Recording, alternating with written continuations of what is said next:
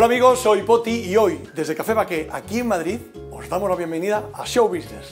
Hoy, en Show Business, tenemos un programa muy especial junto al actor mexicano Roberto Mateos, la actriz Maggie Cibantos y la sensacional Lolita Flores. Además, disfrutaremos de las entrevistas con nuestro equipo en Miami y las memorias de una videoteca espectacular.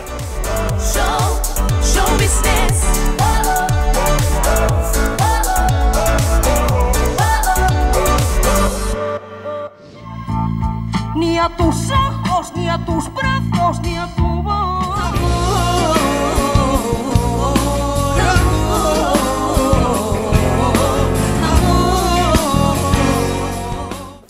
Con 17 años grabas Amor, Amor. Entonces, este año se cumple el décimo aniversario de ese grandísimo éxito, ¿no? El décimo. Se cumple exactamente No lo digas. 40 y sí, ¿por qué no? Si sabe todo el mundo la edad que tengo, 64 para 65. Y en mayo, si Dios quiere, el día 6 de mayo se admiten regalos. Y, y hace, pues, la friolera ya de 47, 48 40 años. Fíjate qué bárbaro. ¿Cómo pasa el tiempo? Y es tan, tan, tan actual la canción. Yo, ay, cuando lo ponen en, en televisión. Amor, amor. parece- amor, amor. Ay, yo no puedo. Hay dos canciones que no puedo con ellas, que son Amor, Amor y Sarandonga. Quizá porque las he cantado durante tantísimos años que ya, ya sé que las tengo que cantar. Pero me, me Amor, Amor cuesta. y- y Sarandonga. Oye, yo no, no por contrato tengo que seguir eh, hablando con Lolita. ¿Por qué? Porque has dicho que Sarandonga, ¿no? No, que Sarandonga ya me cuesta trabajo porque, Poti, tú sabes lo que son veintipico de años cantando las mismas Lolita, canciones? es que no me quiero repetir en este programa. ¿Sabes quién te hizo esa coreografía? Tú, en un programa, ¿no? Sí, y te tuve que preguntar, cuando estrenada, y te tuve que preguntar, Sarandonga en, el- en lo alto del puerto, Sarandonga que mañana es domingo. Claro. Nadie entendía Un que era arroz- eso. Un arroz con bacalao. Un arroz con No, bacalao. lo que no se entendía es la palabra sarandonga y todavía no sabemos lo que es. Pero vale para cualquier Porque cosa. yo estuve en Cuba, esa canción es de Compás Segundo. Sí. Y entonces yo estuve en Cuba, que por cierto soy la única mujer que en la peña de, de, de Compás Segundo que hay en Cuba, soy la única mujer que está. Cuando fui a Cuba a trabajar en el 2005, me hicieron, me hicieron socia de esa, de esa peña por Sarandonga. Y, y yo les pregunté a la familia, les pregunté a la gente, ¿pero qué es Sarandonga? Entonces me dijeron que no lo sabían. Que podía ser una mujer que tuviera sarandonga, que podía ser una ensalada, que podía ser una semilla. En realidad yo creo que sarandonga es un misterio. Pues era un un misterio que, que, por cierto, la, la la letra la adaptaste a cosas nuestras acá. Eh, mi padre es que la hizo primero, mi padre la cogió hace muchos años. El pescadillo. Claro, y entonces él hizo dos letras y luego yo le añadí un estribillo, pero vamos, sigue siendo de Un compás arroz con bacalao en el... Ojalá hubiera sido yo la autora de Sarandonga. Joder, a veces que... eh, me encantaba. Cuchibiri, cuchibiri, Sarandonga, cuchibiri, cuchibiri. Claro. Me encantaba. Y, la- y las- y está por la, por la vieja trova santiaguera. Bueno. está grabada por ellos, Está por ellos. pero mucho más lenta. sí. La reflexión total de, de Campamento Gitano es la familia Flores, porque todos, todos tenéis un- una vena artística, jo, es que es maravilloso cuando... Elena, ¿cómo es, por ejemplo? Es que es- aparte que es adorable, Mira, Elena es una mujer, porque ya no es una niña, ya son 34 años los que tiene tiene. 34 Sí. años, claro, fíjate. Pasa que todavía tiene cara de, de Sí. niña chica. Y luego la, la forma de, de ser Y luego la forma dulce, de ella ser, tan, sí. tan linda. Pero Elena es una actriz estupenda. Es que es un- Eh, como pasa muchas veces en, en muchos países, eh, hay que esperar el momento. Ella no para, porque la verdad es que no para con sus publicidades. que ha hace muchas cosas, está muy ha- presente, eh, ¿eh? ha le acaban de dar cuatro o cinco premios por un corto que ha hecho con Miguel Diosdado, de actor, que se llama Bien Bien. Y está genial y le han dado como premio, decir, le han dado premios como mejor actriz. Llegará su momento de que la gente realmente pueda verla a nivel, a nivel grande, ¿no? Como yo digo. Llegará su momento. Mi hijo es un gran músico que está ahí, que es cantautor y que se está buscando la vida porque además ellos no quieren que mamá ayude. Ellos no quieren. Ellos quieren labrarse su camino por sí solos y yo eso es una cosa que me llena de orgullo, como le pasó a Alba, ¿no? Ninguno de mi familia ha querido que, que nos ayuden. A mí me ayudó muchísimo mi madre y yo lo digo y a mí no se me caen los anillos, pero yo entiendo que por eso también me llevé muchos palos. Y tú Claro, lo sabes porque lo viviste con nosotros. Total, total, total. Qué, qué suerte tuve yo, ¿no? Dices, me inicio en esta profesión y me cae en las manos sabor a Lola. Sí. Sabor a Lola. Sabor a Lola, que además mi madre nos inventaba músicos, eh, todos números musicales toda la semana. Toda la semana. Y todas las semanas me ponía un sombrero que yo lo odiaba. Yo decía, y ella se reía en el camerino. Tengo una anécdota que un día se estaba pintando y la veo que ella sola se estaba riendo. Digo, ¿de qué te ríes? Dice, no, que estoy pensando en el sombrero que te voy a poner la semana que viene, porque sabe que los odio. Y entonces me- me- ella misma se reía, ¿no? Pero, ¿qué es lo que has dicho? Que se inventaba, números se inventaba. Sí. Yo recuerdo, yo, eh, llamada Poti, me voy para, para el camerino, y Poti, escucha esto, me lo acabo de inventar. Hello, ¿cómo, ¿cómo lo ves? Digo, bien, bien, Lola, yo soy una chula. Pero, por ejemplo, yo ba- bajo las escaleras así, que me espere Antonio abajo el pecadico de la mano, tal. Ella me montaba la coreografía, la escenografía, la canción, Todo. la letra. Los trajes, todo, Todo. todo. Qué maravilla, bueno, qué suerte. Siempre lo digo, ¿eh? Eh, aquel programa fue un antes y un después en mi, en mi vida profesional. Trabajar con Lola Flores y, y lo, que, y lo que era Lola Flores, claro. Pescadilla, Lolita, apareció Antonio, apare- bueno, por ahí pasó todo el mundo, todo. Y luego todos los amigos que teníais, amigos de estos buenos, buenos. Y entrevistas maravillosas que hicimos. sé cuánto me quieres, si me extrañas o me engañas, solo sé que vi llover, vi que te lloré. Eh, yo me llevo muchos años dentro de la música.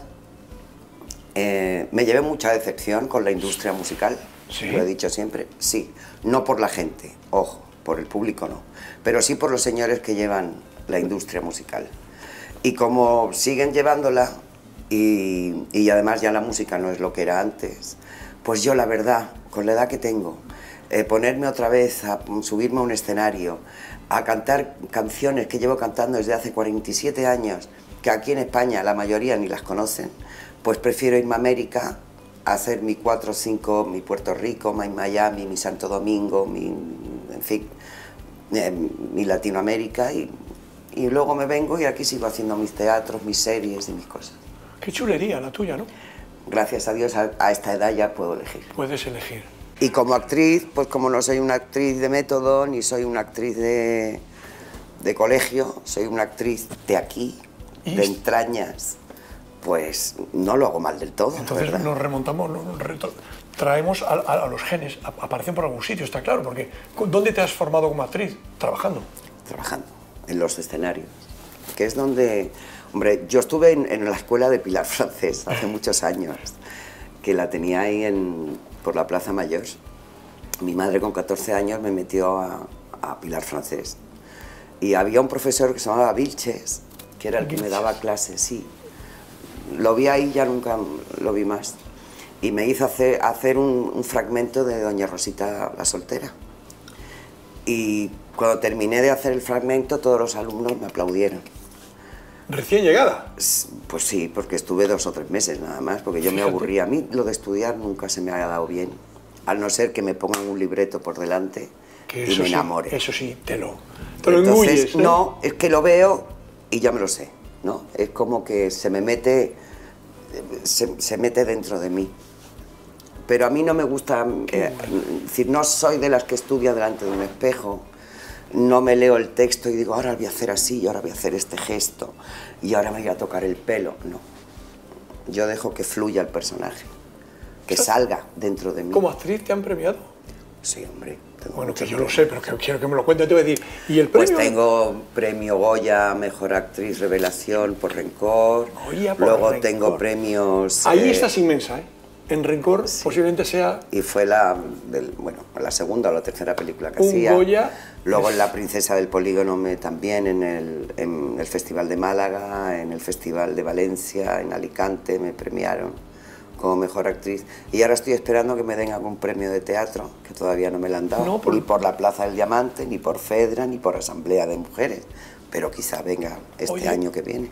Pues desde aquí, como este programa tiene tanto éxito, lo ve todo el mundo, quizás los que Pero no me los importa. premios, ¿Sabes esperamos- cuál es mi premio, Poti? ¿Cuál? Que se llenan los teatros. Pues que a ti te quiere mucho y la que gente, la gente se, se pone de pie. y las emociono cuando tengo que emocionarlas y se ríen cuando se tienen que reír. Ese es mi gran premio. Los demás están, unos para aguantar las puertas, otros para aguantar los libros y los premios están ahí. Tengo la medalla de Bellas Artes, cosa que me hizo mucha ilusión que me la dieron los Reyes Es un premiazo, ¿eh? que es un premiazo y espero que me den la medalla del trabajo antes de que me vaya para el otro barrio. ¿Ves que no te vas a ir? No empecemos. No, no, empecemos. no, pero es que a mi madre, te lo digo porque a mi madre se lo dieron un año antes de morirse.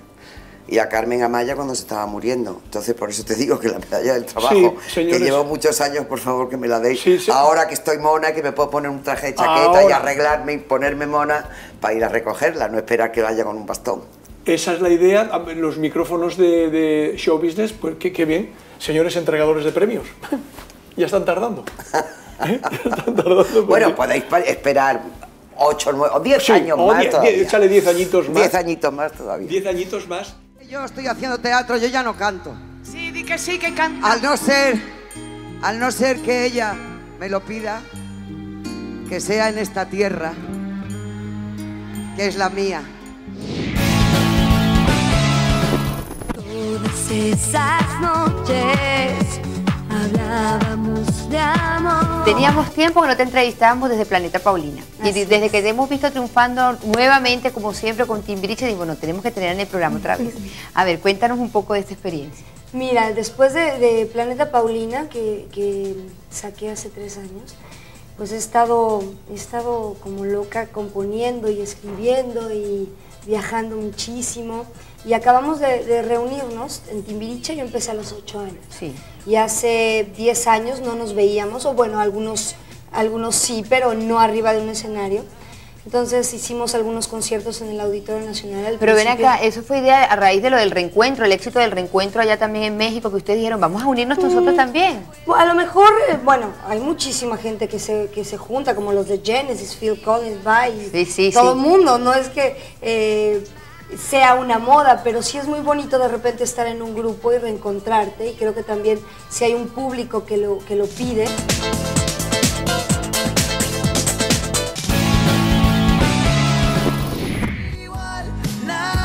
Hoy tenemos el gran gusto de tener como invitado a un gran cantante, compositor y compatriota venezolano, quien ha colaborado con grandes artistas desde Dana Paola, Cami, Micro TDH, entre otros. También ha recibido múltiples premios y nominaciones como Pepsi Music y Latin Grammy.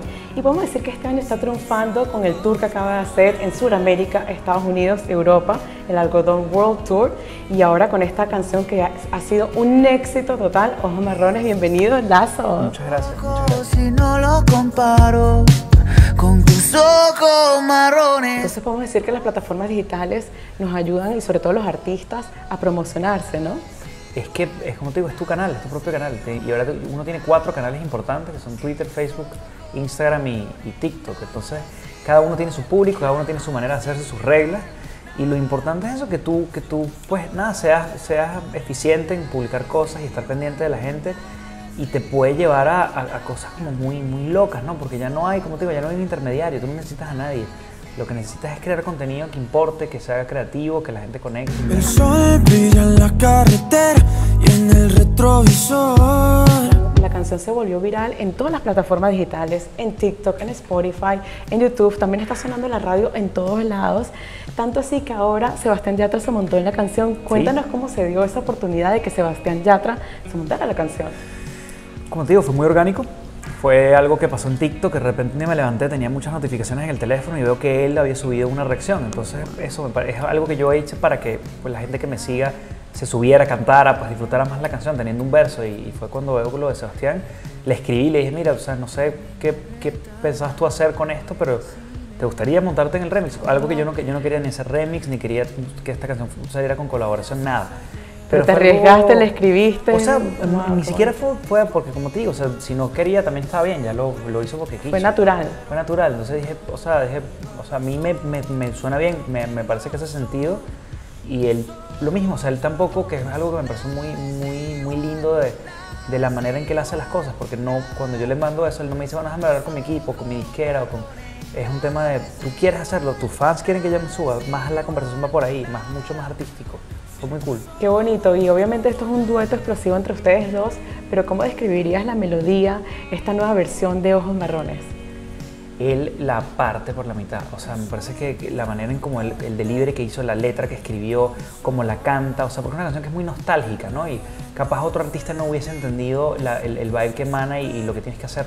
Con él fue así, lo escuché y dije, no tengo que hacer nada, no tengo absoluta- absolutamente nada. No sé si es bueno lo que yo siento. Tu, último disco, Cuatro Estaciones, que es espectacular, está basado en cuatro EPs, primavera, verano, oye, invierno, otoño. ¿Cómo nació este concepto de las cuatro estaciones del año? Bueno, la premisa fue hacer un disco que durara todo el año, que no perdiera vigencia y que no entregaras tú en una sola, en, en- en una sola instalación, sino que sea como, no sé, que una parte te lleve a la otra. Y eh, lamentablemente anunciamos la primera parte, que fue primavera, y arrancó la pandemia. Entonces hizo más largo de lo que debía Claro. y al final resultó ser un trabajo gigante por, como te digo, de poder ajustar todo con la pandemia. Pero te digo, es de los trabajos, como, como te digo, los que me siento más orgulloso de, de los que más trabajo llevaron y que, que fue como un punto de aparte en mi carrera. Fue como de ahí entendí muchas cosas que antes no entendía. Ella sí se lleva bien con mis amigos, nunca discutimos el Y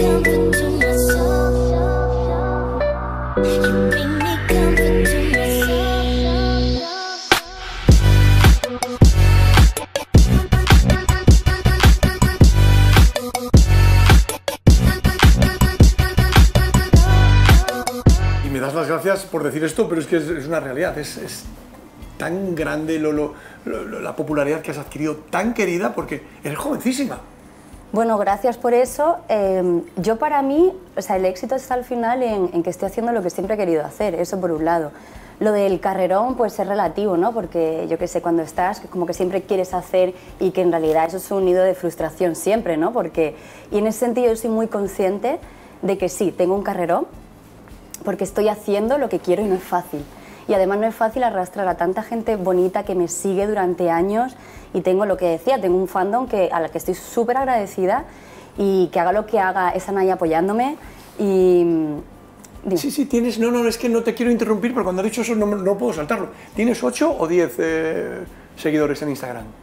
Eh, Son muy nerviosos y son, parecen son- muchos. son do- más de dos millones, pero... Más de dos millones. Pero igualmente, fíjate, no es tanto la gente que te sigue, sino cómo te sigue, que al final es lo importante, porque al final Instagram son números, y, pero recibo mucho cariño de la gente y yo solo Ya. veo em, comentarios y sobre todo pues cuando voy a eventos están ahí. Y, y no sé, realmente por supuesto también luego tienes hater y todo este tipo de cosas, pero Sí, claro. el, el amor que he recibido durante estos años ha sido una cosa abrumadora que no podía imaginar cuando empecé mi carrera. Y para mí ahí está el éxito de, de mantenerme, que no es fácil tampoco, Claro, claro. Y, y- y sobre todo eso, de, de llegar a la gente con mi trabajo, que me parece lo, lo más bonito, con mi trabajo y con proyectos en los que yo también me he involucrado como, como persona, ¿sabes? Como ONGs con las que he estado trabajando y, y O sea, que tienes tiempo para vivir. tengo tiempo para vivir. Para vivir. Tienes un proyecto que se llama Alborada Espacio Creativo. Creativo. creativo. Que yo voy a ir. ¿Ah, sí? Sí. Pues te lo recomiendo. La verdad es que es un proyecto que es muy incipiente, hemos empezado hace poquito, pero... ¿Es dónde está?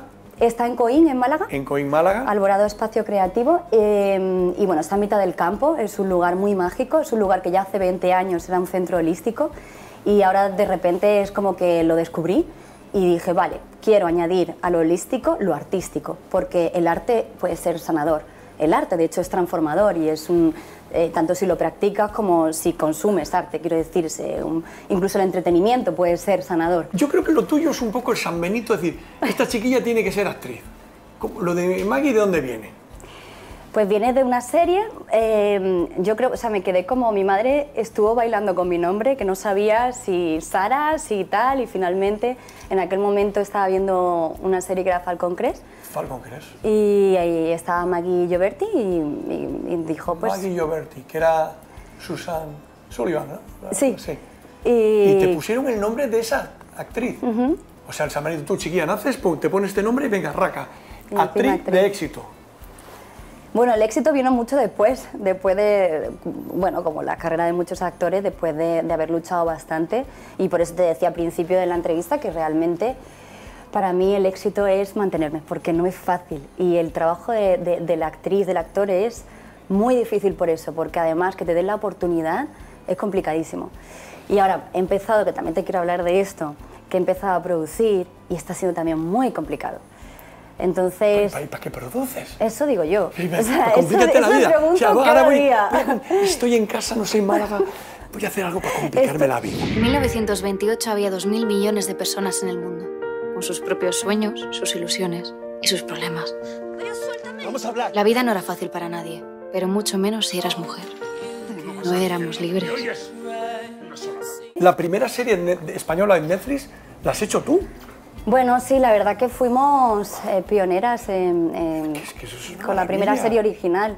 Y además fue muy emocionante, lo recuerdo como no saber, o sea, era como, bueno, vamos a estar en 290 países. Y yo decía, wow, tantos países. Y había mucho nervio, recuerdo que recibimos un mail justo antes de- del rodaje y, y había esta cosa de no saber dónde íbamos con esta producción.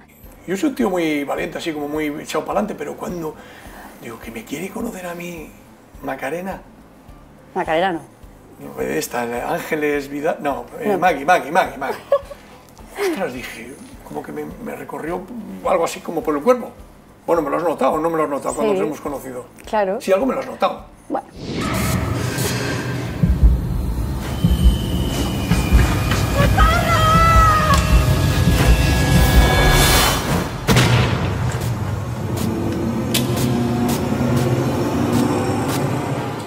Hemos, nosotros aquí en Show Business tenemos una ventanita abierta para que todos los, nuestros amigos que nos siguen semana tras semana en el mundo, en el mundo, porque este programa se emite por Antena 3 Internacional, entonces ahí nuestros fans, nuestros amigos nos mandan a quién te gustaría que entrevistásemos en Show Business. Si te enseñamos el ranking de las veces que te ha nombrado, miles y miles, ¿me me estás creyendo? Mírame a los ojos, mujer. No, no, yo te creo. De Maggie Cibantos. Estas cosas me emocionan mucho. Pues ala, esa es tu cámara, dile a todos los que han pedido que estés aquí. Gracias. ¿Qué puedo decir?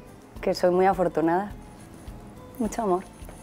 Afortunado yo de haberme sentado un rato con Maggie, que no os hacéis ni idea, para llevártela a vivir a casa. Maggie. Bueno, igual, no, no. Escúchame. Está bien, aquí un ratito. aquí cortáis. No, no, que no te estoy diciendo ninguna cochinada, te estoy diciendo. No, hombre, no, pero no es eso. Digo que... Escúchame, hombre.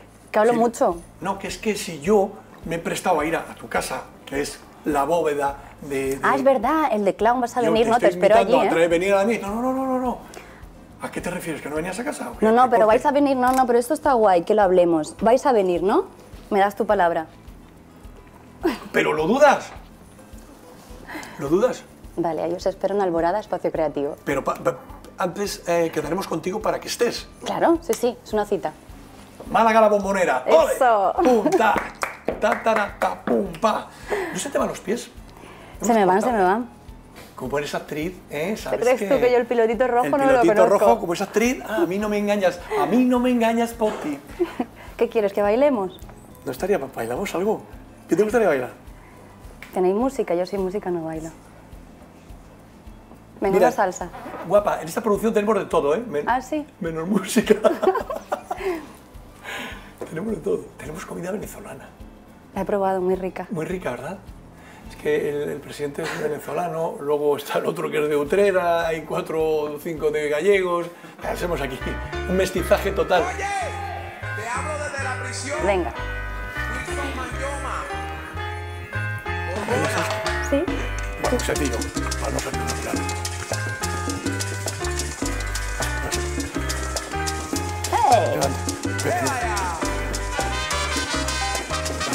Y si quieres ahora, pues te lo mezclo con break.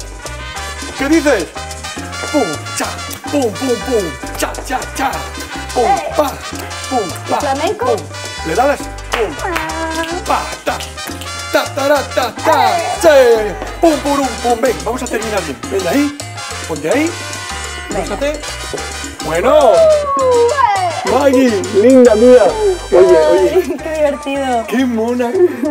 Más, bueno, es que la gente dice estas cosas, vente conmigo, la gente dice, oh, es que es más, más guapa que en la tele, o más alto que no sé dónde, o más, o cantas y bailas mejor que Lola Flores. Nosotros también necesitamos de tu, tu azuquita. Bueno, azúcar. ¿Cómo estás? El estuvimos contigo cuando hiciste la presentación de tu muñeca y nos preguntamos, ¿cómo haces tú para estar en la radio en la mañana, en la tarde, también en una estación de televisión y en la noche estás en el carnaval de la calle 8? O sea, esfuerzo, esfuerzo. Hago todo el esfuerzo, además como, ah, como lo que me lo que hago me gusta, siempre tengo energía para ello. O sea, claro que- que la noche termino muerta, olvídate. ¿Y qué dice tu marido? Él feliz, él me acompaña, él me ayuda y él sabe que yo debo cumplir con estos compromisos que son vitales para mi carrera. Oye, de verdad que sí, que nosotros nos- nos- de verdad que nos quedamos muy sorprendidos de ver Sí. tu energía. No, increíble. Bueno, ahorita dormí, estaba yo en, en- haciendo cuatro entrevistas y me acosté una horita para ahora poder estar aquí. Y te ves rozagante, fresca. ¿Verdad que sí me veo bien? Yo duermo media hora más y ya yo estoy bien. Bueno, muchísimas gracias. Ok, de mi cielo. Saluda a tu gente de show business. Como no, un abrazo bien fuerte para toda la gente de Show Business. Eh, los dejo con todo mi cariño y toda mi azúcar. Yo, yo, yo te pegué porque le ibas a pegar a mi Así mujer. es. Eres un cobarde, Monteverde. Porque solo un cobarde le levanta la mano a las mujeres. ¡No mientas! ¡No mientas! Mi Soyita lo es todo. Soyita es la madre de nuestro hijo. Soyita es mi amor de toda la vida. Roberto, me decías antes que somos nómadas. Es que. Bueno, Roberto, Roberto Mateos, porque dirá, "Ah, Roberto, como están de cháchara en el salón de su casa, Roberto Mateos, pero es que no hace falta que, que te presentes, eres una mega estrella. hombre, muchas gracias. Pero te lo digo, no que te lo diga yo, es que es verdad, es que es verdad. nómada. Roberto Mateos, el nómada. Oye, pero ¿sabes que a mí me sorprende muchísimo cuando una persona X, en este caso Roberto Mateos, es contable? Contable, un tío que es contable.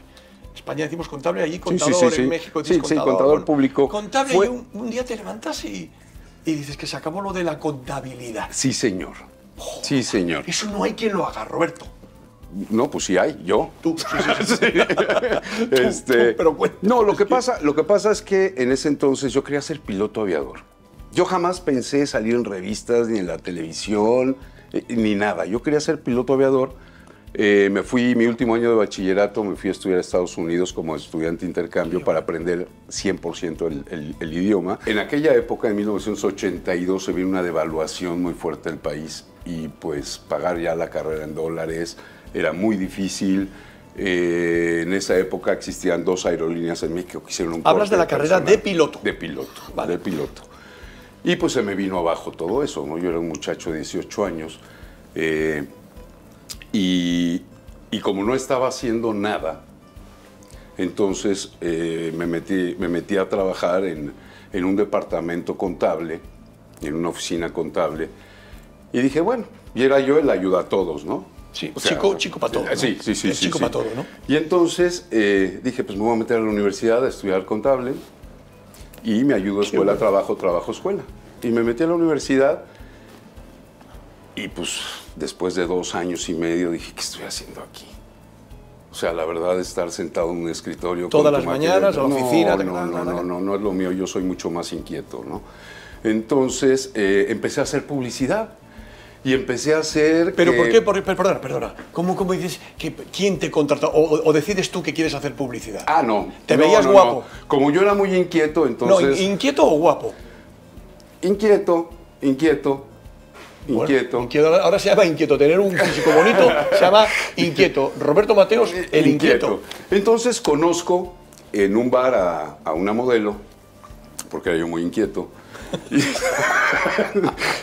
y ella, nos hicimos muy amigos y ella un día me dice, Roberto, acompáñame a mi agencia eh, que tengo que ir a cobrar unas cosas. Y fuimos a su agencia y me vieron en su agencia y me dijeron, oye Roberto, ¿por qué no me traes tus fotografías, todo esto? Este, es más, ve a un casting de un comercial.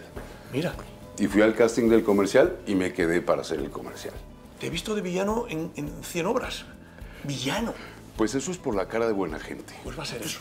Yo creo que sí. Ahora que lo dices va a ser eso, Roberto. Yo creo que sí. Villano. ¿A ti qué, qué prefieres? Del Ser- villano, el de villano, villano. ¿Ser bueno o mucho. ser malo? A ver, el- el- cuando tú eres bueno, quieren que seas tan bueno que caes en lo idiota, ¿no? Este, de repente los personajes dicen, no, pues este No, no, pero no te hablo de los personajes, digo en la vida.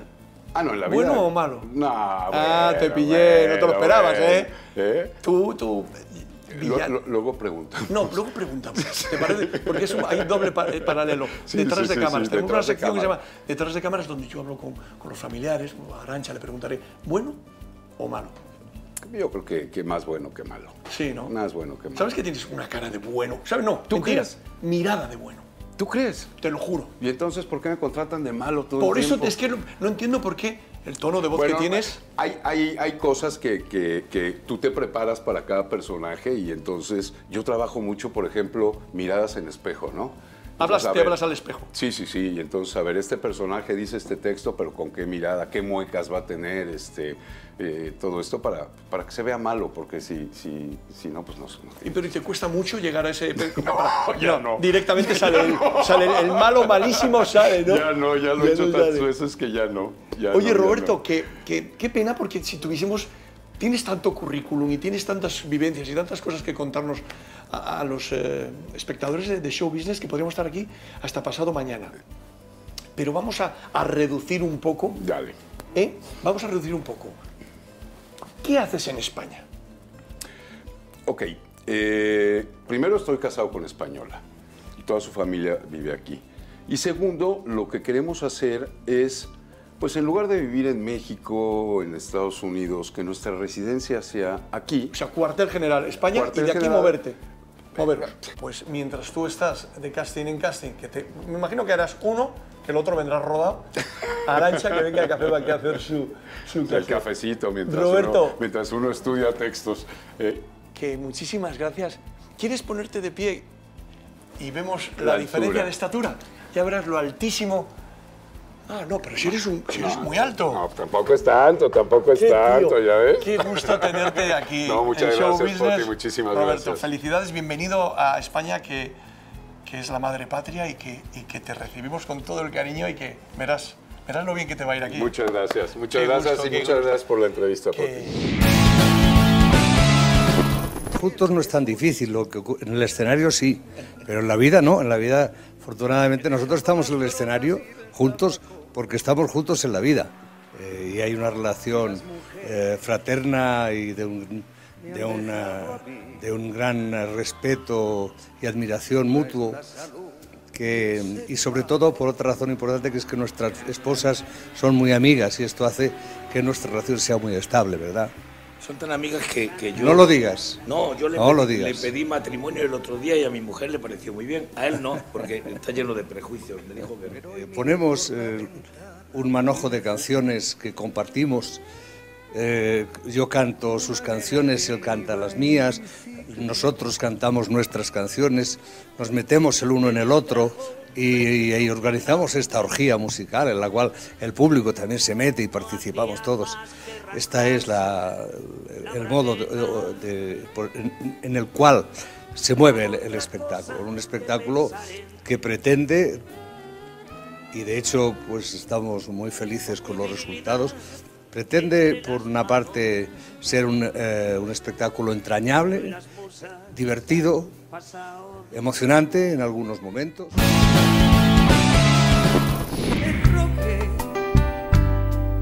que no se fuera y que dejó a mi corazón. ¿Sabes dónde, dónde veo a Lolita, yo que te conozco tanto?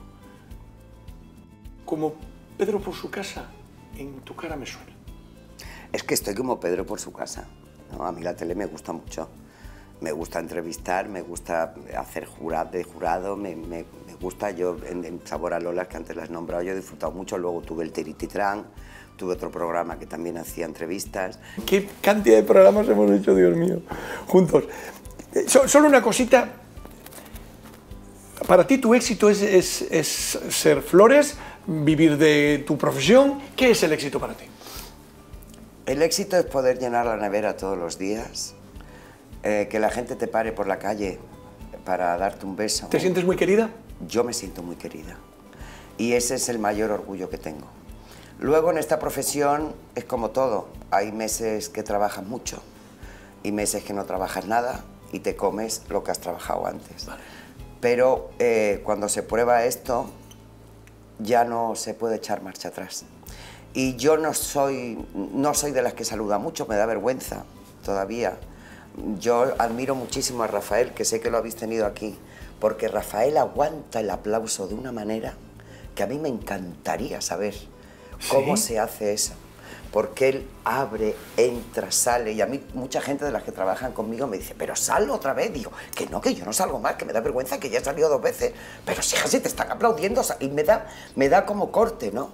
No, no, me da como. Pero eso dice mucho de ti también como Bueno, persona y como pero me ha artista. pasado porque, toda la vida, ¿no? Porque es la grandeza que tienes también, la, la humildad que, te- que tienes. Es decir, yo les canto y, y ya está, me aplauden, se ponen de pie y, y- y muchas veces los paro y hablo con ellos porque, porque me gusta tener esa relación con el público, con la que me va. Y ese es, ese es el éxito. 50 Para años. mí ese es el éxito, no tener 500 Sí. millones en el banco. Que también los tienes. No, ojalá. Ah, ¿no los no, tienes? No, los tengo, no. Pero si son 50 años de éxito, o sea, vamos Sí, a hacer un claro. 50 años de éxito, que son Sí, 50. pero hay ¿eh? que pagar los seguros de los coches. Ahora, aunque no tengas gas, también hay que pagarlo. Yo tengo luna más, pero pago luz, pago gas, pago el teléfono, pago los seguros de los coches, pago la comida, eh, pago y pago, y pago Hacienda, y pago el IVA, y pago, y pago. Habría que hacer una canción. Y pago. Bien paga, no. Bien, bien pagada, la otra. Mal. Mal paga. paga, porque- Mal pagada. Fíjate, Pero Lolita, bueno, Hacienda somos todos. ¿no? Hacienda somos todos, decía la canción, Hacienda- ¿no? Me voy a poner la blusa en su sitio. Sí, que estás estupenda. Sí. Ni te toques la blusa, chiquilla, sí estás estupenda. Que mm, yo recuerdo, eh, nos vimos en Miami, en el programa Despierta América, en el que yo trabajaba. Sí, muy, muy, muy tarde, a las 7 de la mañana, 7 Sí. y media, 8, sí. Como su nombre indica, Despierta América. Ah, sí, y a Lolita, y y a Despierta Lolita, a las Lolita. 7 en punto. Veníais de una jarana anterior, la noche, estaba Rosario, estabas tú. Oye, estaba todo el equipo. ¿Cómo os quiere la gente fuera? Es impresionante. ¿Es impresionante Yo o no? vuelvo en diciembre. y Pero es impresionante o no? Para mí es de las veces que salgo al escenario y me emociono más. Es una cosa. Porque después de tantísimos años, después de estar... Mira, estuve en Puerto Rico el año pasado, después de 17 años que no lo pisaba. Fíjate. Y eso fue impresionante. Decir, mm, me pongo a llorar porque es un cariño incondicional. Es un amor eh, de toda la vida. Es decir, por eso yo, y no es que aquí en España no me quieran, me quieren tanto o igual que me quieren en América, pero aquí me tienen, me ven por la calle, me ven en un restaurante. Allí en América yo voy muy de higos a brevas y que realmente se mantenga ese cariño durante tantísimos años, de verdad que Doy es de fe, quitarse doy el fe, que yo, yo lo, lo he es vivido. de ¿eh? quitarse el sombrero. Es que maravilla. ¿Qué más? Cuando nos digáis empezamos. Esto de la televisión es una cosa. Cuando, cuando digáis empezamos. Yo por mí, Sierra Alta, cuando queráis empezamos ¿eh? a grabar. Ya. ¿Sí? Venga, empezamos. Lolita. ¿Qué tal, Poti? ¿Cómo estás? Oye, mira, vete ¿Cuánto una tiempo cosa. Te voy a decir una cosa. Ven, mi amor. Vamos. Que te voy a dar dos besos. Sí. Uy, pero no te recordaba tan, tan bajita. Sí, es que con la edad una va, va, va Yo menguando, también voy- pero yo he sido siempre muy bajita. Y porque llevo tacones, pero si me quito los tacones, Oye, todavía soy así. Pero ¿y el tipazo que tienes? Eso sí, gracias a Dios, Oye, eso es herencia. menudo tipazo, Eso ¿no? es herencia, porque ejercicio no hago, la verdad. Soy bastante vaga. Pero los brazos, ¿ves? Todavía los puedo levantar y esto Sí, no sí, se me sí. cae. Pero eso es No te quites, no, madre. porque No, no estamos en un horario, no te quites más. No, O sea, no me quito más. no te, No me quito más. No te quites nada. No te quite pa. No te quites pa- el pa- pa- pantalón. Te voy a dar dos besos de parte de Isabel. Por favor, dos, dame tres. Amigos, muchísimas gracias por acompañarnos una vez más aquí en Show Business. Nos vamos porque nos tenemos que ir. Pero les vamos a dejar con nuestra canción, Sarandonga y Lolita Flores.